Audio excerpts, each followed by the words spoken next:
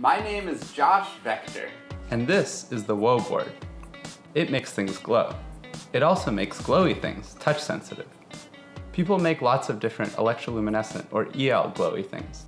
People make panels of the stuff.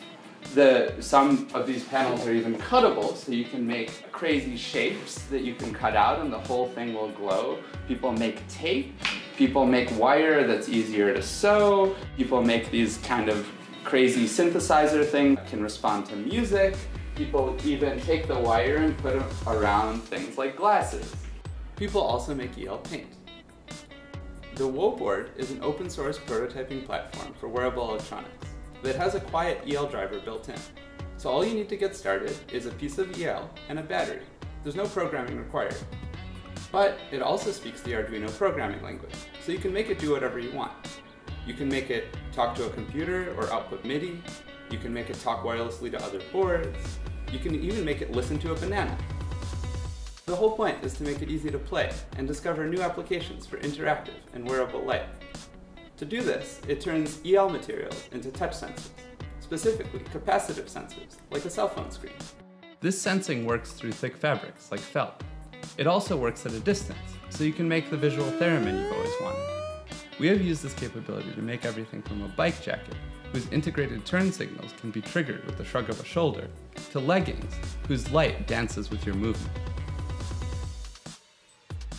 Everyone we talk to seems to have their own design ideas. I'd be excited to do anything from performance, um, which means athletic wear, things that people wear at night, things like motorcycles, bicycles, runners at night. Um, all of these people need to have things to wear that will be safe and functional. Also things like dance are really exciting.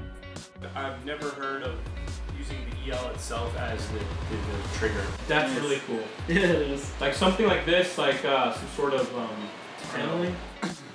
some sort of performance where they're like touching the panels or something. For us, it's like all performance and dancers and stuff. So it's like, you know, there'd be like probably a couple dancers carrying out this panel, and then some a dancer goes and does some stuff with it.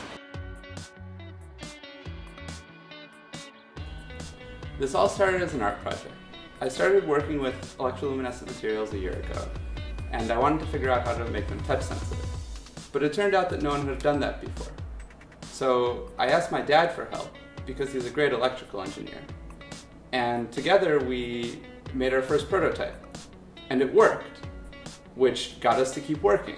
And so since then we've been refining our design and making it smaller and more usable and more sensitive the Whoa board enables interactions that are unlike anything else, and we've had a great time playing with it for the past year.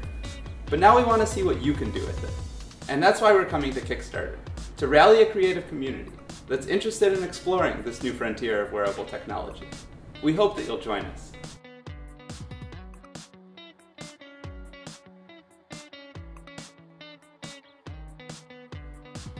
I started working with electroluminescent materials a year ago,